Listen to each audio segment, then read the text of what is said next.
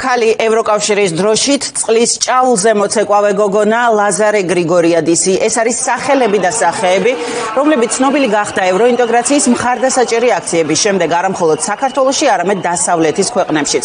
განსაკუთრებით მარტის აქციების შემდეგ როცა მოქალაქეების მძლავრმა პროტესტმა მართლ პარტიას უარი ათქმევინა ეგრეთ წოდებულ რუსულ კანონზე.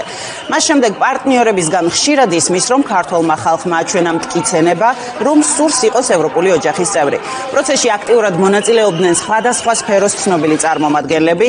რას ნიშნავს კანდიდატის სტატუსი მათთვის? ქეთი ნადიბაიძისგან მოვისმენთ. მათთვის ეს გადაწყვეტილება ნიშნავს საქართველოს მოქალაქეების უცვლელ სურვილს გახდეს ევროპის გახდნენ ევროპის ნაწილი და ასევე ევროპელი პარტნიორების უცვლელ სურვილს რომ საქართველოს გახდეს ევროპული ოჯახის. წევრი საქართველოს ის მოქალაქეები რომლებიც წლებია ევროინტეგრაციის პროცესის აქტიური მხარდამჭერები არიან მათ შორის ქუჩაში ამბობენ რომ სწორედაც ქართული საზოგადოების და მათი ურყევის სურვილის ისტორიული არჩევანის ერთგულების შედეგი არის ფორმულა ესაუბრა ნანა მალაშხიას, რომელსაც საზოგადოება კარგად იცნობს და ის მარტში გამართული ანტირუსული პროევროპული აქციების ერთგვარ სიმბოლოდ იქცა.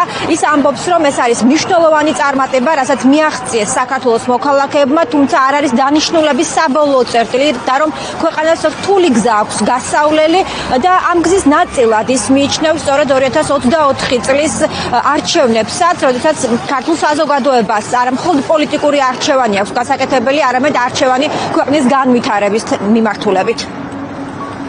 ერთი ეს არის ევროპის ასე ვთქვათ ევროკავშირის მიერ ჟესტი რომ მისი ინტერესი და მისი მოლოდინი საქართველოს მიმართ არის მაღალი და ასევე აქ რუსული ინტერესების გაძლიერებას თუნდაც აი ამ რიტორიკის დონეზე არ დაუშვებდა. მაგრამ მეორე მხრივ ფაქტობრივი მოცემულობა არის ის რომ მართლ პოლიტიკური რეჟიმი საქართველოსი არაფერ არ შეიძლება შეეცვალოს არც დემოკრატიულად არც ევროპულად.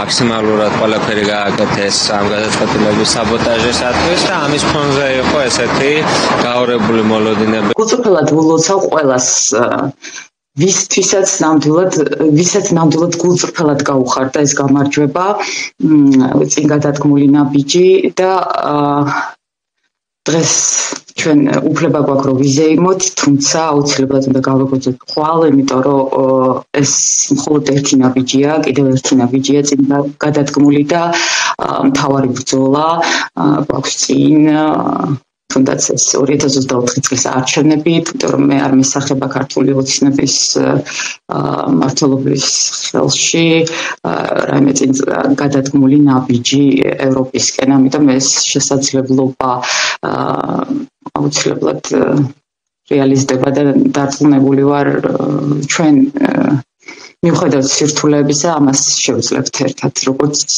გულზელით ახლა ილია ჭავჭავაძის ოცნება ეს ცხადია ჯერ კიდევ როდის ხო 900-იან წლებში და მანამდეც რამდენს წერდა ეს ადამიანი? როგორ ოცნებობდნენ და ელოდნენ ევროპასთან დაახლოებას საქართველოსას და აი ეს ცნობილი ლექსი და ფორმულა ილია ჭავჭავაძის ჩემო კარგო ქვეყანა რაზედ მოგიწყენი აწყვ თუ არ აქვს წყალობს მომავალი ჩვენია აი ოდნავ მაინც მიუახლოვდით იმ აწმყოს რომელიც უკვე ჩვენი გახდება. იმიტომ რომ ყოველთვის რაღაც მომავალში იყო ხო ეს პერსპექტივა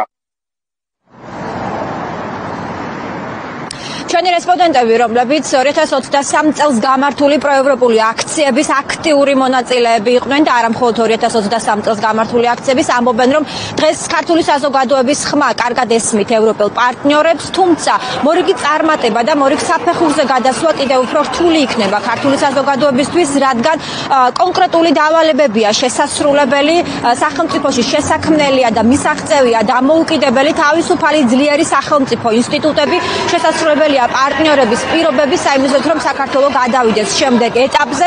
და ისინი ამბობენ რომ დანიშნულების საბოლოო წერტილამდე მისვლა იქნება რთული ამიტომ ბევრი საქმეა გასაკეთებელი როგორც ოფიციალური უწყებების მხრიდან ასევე კლავაც საქართველოს მოქალაქეების მხრიდან